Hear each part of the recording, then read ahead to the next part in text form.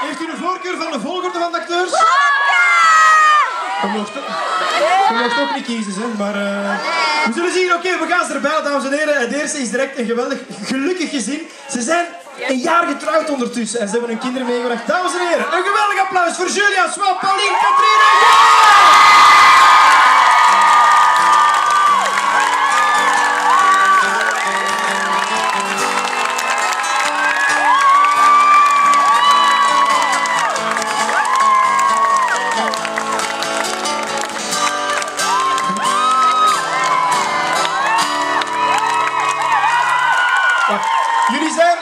eerste gezin die opkomen, dus er is nog een beetje werk aan. Eerste indruk van het publiek, wat denkt er van Julia? Te gek! Te gek, voilà!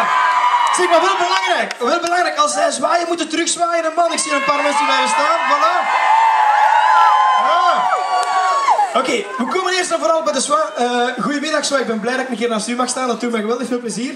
Uh, uw rug is genezen, hè? dat is goed nieuws denk ik. Uh, helemaal klaar en terug ernaar aan het kijken om terug naar het werk te gaan, met de taxi te rijden? Dat wil je vind ik lustig. Uh, ik heb samen met Julia in een taxi nog wat oefeningen gedaan. Ben met daar. En uh, de leeftijd niet meer voor een vriend. Maar het is in orde en kan ik terug gewoon werken. Allee, als de man mijn werk niet afpakt, dan moeten we niet doorgaan. ik denk dat dat wel gaat lukken. En wil er iets meer aan met de sma? Ja, en ik heb daar twaalf vrijgestellen, dat is van zo'n clubje. Die willen sowieso. Ja, Pauline, Pauline, ik kom eventjes tot bij jou. Uh, jij zit deze periode geweldig hard in met Bram. Lukt dat een beetje voor jou? Uh, ja, ik, ik vind het wel heel erg voor hem en ik probeer er zoveel mogelijk voor hem te zijn en hem te steunen. Ja, dat is geweldig lief. En dan, ja, Jens, je hebt al zo mooi voor ons gespeeld nu. Je had een probleem met Pauline en Bram, dat is misschien een beetje moeilijk voor u ook. Uh, heb je daar last van? Nee, nee, ik heb daar geen last van. Uiteindelijk, vind dat ook heel erg wat er met een Bram is gebeurd. Uh, en ik weet, ik weet dat Pauline mij graag ziet, dat dat voor altijd. Dus, uh, voilà. Ik denk dat een geweldig mooi moment is om hier af te sluiten. Dames en heren, geef nog een geweldig applaus. Julia Sma, Pauline, Katrien en Jan! En uiteraard blijven ze bij ons. Ze blijven bij ons, want straks uh, willen we een keer alle acteurs samen zien. Oké, dames en heren, dan tijd voor onze tweede groep acteurs. Rechtstreeks van, uh, van bij de dokterspraktijk. Geef ze een geweldig applaus, dames en heren. Geef u volledig voor Marianne Geert en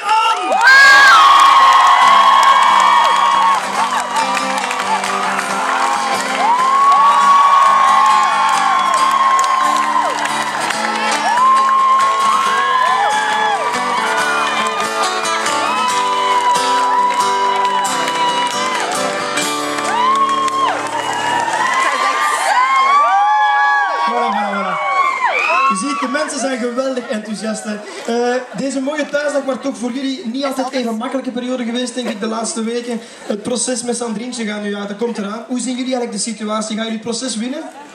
Wel kijk, ik heb het grootste vertrouwen in onze advocaat. Ja, om te beginnen. De rechter, tenzij hij absoluut geen verstand heeft, die gaat juist oordelen in het voordeel van het kind. En die rechter zal zien dat Sandrientje maar op één plaats thuis hoort. En dat is bij Anne. Die gaat de juiste beslissing nemen. Ja. We zijn vol vertrouwen. Ik kom ook eventjes bij Jan. Uh, wat is uw gevoel bij de hele situatie? Ja, ik wil Sandrientje absoluut houden. En uh, het is echt mijn dochter. En we gaan nu op zoek naar uh, een getuige die kan bevestigen dat Tom al voor de adoptie wist dat hij de vader was. Nu, Bianca en Geert kunnen dat bevestigen. Ik weet niet of zij gaan willen getuigen.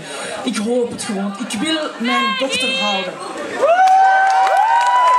Oké, voilà. Heel mooi. Dames en heren, met deze woorden geeft nog een geweldig applaus. Marianne Geert en aan! En ook zij blijven nog bij ons staan.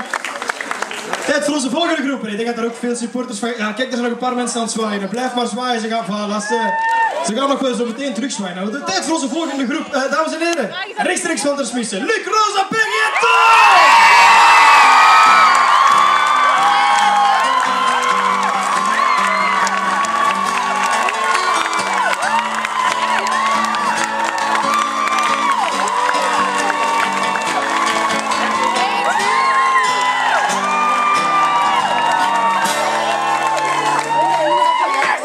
voilà, daar een heel lief man aan het zwaaien, dus je moet één keer terug zwaaien, denk ik, Peggy. Voilà, dat is, eh, is heel lief. Oké, eh, ja, Peggy, ook voor jullie, even moeilijke tijden waarschijnlijk met zo'n moment. eh na het proces, gaan jullie winnen?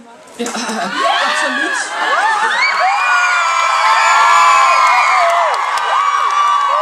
Winton gaat eh, zelf pleiten. En hij is ervan overtuigd dat de rechter gaat beslissen dat Sandrine terug naar haar biologische ouders moet. We beseffen, we beseffen heel goed dat het hard tegen hard gaat zijn. Dat het heel moeilijk gaat zijn. Maar we gaan alles uit de kast halen om Sandrine terug bij ons Oké? We zullen zien, kunnen alleen maar hopen dat het goed afloopt. Eh, Rosa, ik kom eventjes tot bij jou. Heel mooi, je hebt eh, deze week heel veel geld gegeven aan Waldek en Jelena. Eh, ben je gewoon een vrij, vrij, vrijgevige buibeter of is dat echt iets dat typisch voor Rosa is? Rosa, ik- die, die vindt dat Waldek en Jelena, ze zien Waldek nog altijd eigenlijk wel graag. Maar Luc ook. Luc, is zo'n schat. Zwaar, maar Luc is de schat, hè. Maar ik vind zo verliefd, Waldek en Jelena. En god, ja, 50.000 euro, het is veel geld, het is wel veel geld, hè. Maar ik geef dat met alle plezier, want ik wil die twee een toekomst gunnen. Dat is heel mooi. En eventueel kunnen we straks elke rond gaan met een hoed om eventueel van de mensen nog een euro kunnen. Kijk hoe die hoed is een goed idee. Oké, we zullen zien. Dan eh, ja, kom ik eens op bij jullie, want de vrijgevigheid van Rosa, ik denk toch niet dat dat uw eerste keuze was dat ze haar geld op die manier zou besteden. Hè?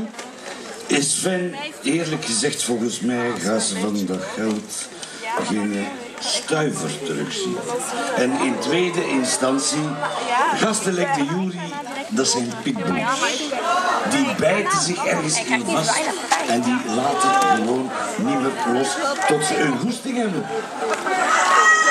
Ik hoop dat ik nooit een slachtoffer word van de jury. Alleszins, ja, bedankt om er ook vandaag bij te zijn. En eh, geniet nog van de mensen, ze zijn geweldig. Dames en heren, nog een geweldig applaus voor Luc, Rosa, Peggy en Tom!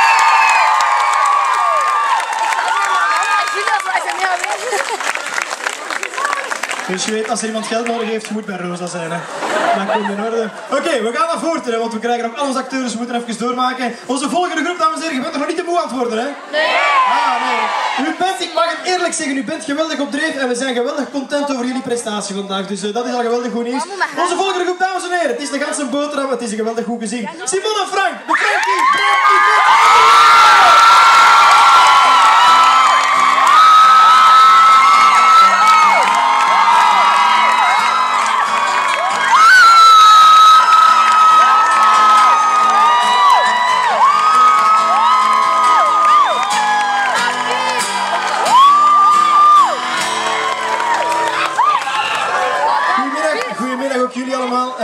kom even in eerste instantie bij u, Simon. Eh, ja, ook mijn deelneming voor het, eh, bij het overlijden van Herman. Herman heeft u een tijdje geleden gevraagd om, om voor Bram te zorgen. Waren dat loze woorden of gaat u ook echt uw belofte gaat ze nakomen? Absoluut mijn belofte nakomen. Ik heb Herman eigenlijk heel graag gezien. Ik heb hem een afske- afscheidscadeau gegeven ook in Oostende. En ehm, ja, hij heeft me dat laten beloven. En goh, eh, Herman is een, een fijne kerel. Let ons geen slechterik. Maar ik zag mijn baby natuurlijk veel liever. Maar bon.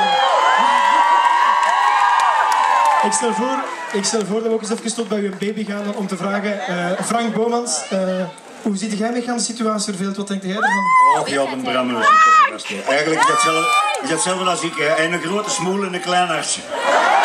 Dus eh, het is een eerlijke gast. Ik ook trouwens, hè. En eh, hij zal wel tot goed met mij omgaan. En ik kan me niet voorstellen dat hij ooit van zijn leven een mis in mijn rug zou steken. Frank, dames en heren. Eh, ja, Bram, kom nog eventjes bij u omdat...